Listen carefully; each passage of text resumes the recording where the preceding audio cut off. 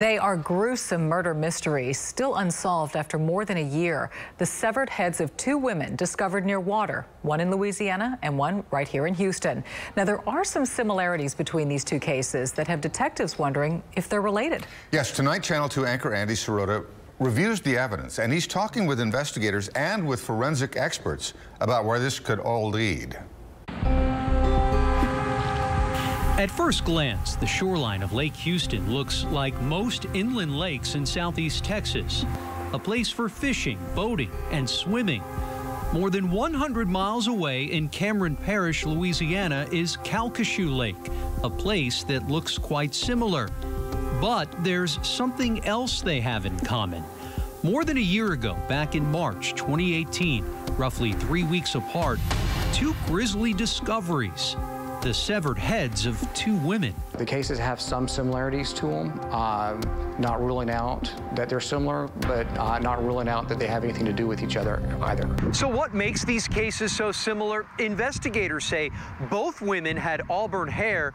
Both of their heads were found in a plastic bag in close proximity to a lake. And both are thought to be within the same age range. In Louisiana, the LSU Faces Lab used the remains to create this image. Sketch artist Lois Gibson used photos of the head found near Lake Houston to create this sketch. Just finding the identity of the person has been more of a struggle than anything else. So late last month, this new rendering was released by the Texas Department of Public Safety after the Harris County Institute of Forensic Sciences developed an anthropological profile using the skull. Dr. Leanne Grossberg is a forensic pathologist. She's not involved with these cases, but says the work she does often uncovers clues that are extremely useful to police. You would probably um, want to look for whether the person was strangled or not, which might be very difficult, but there are some findings in the eyes and the face that you could look for.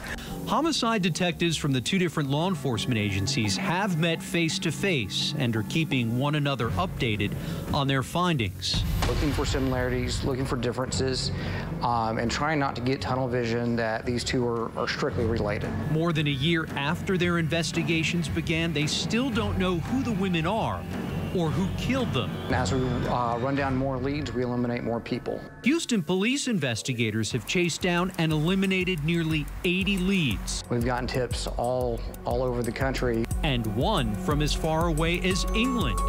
About a month ago, the well all but dried up. But since the new sketch was released at the end of April, detectives are getting about two to three tips a day. It's a person that somebody's missing somewhere. It's a person's mother or a person's sister or wife. If DNA from the head is put into a national database the FBI uses and there's a hit, HPD homicide investigators say they'd be able to identify the woman that way. They're waiting on forensic examiners to take that next step. If you have any information that could help investigators, call Houston Crime Stoppers at 713-222-TIPS. Andy Cerota, KPRC, Channel 2 News.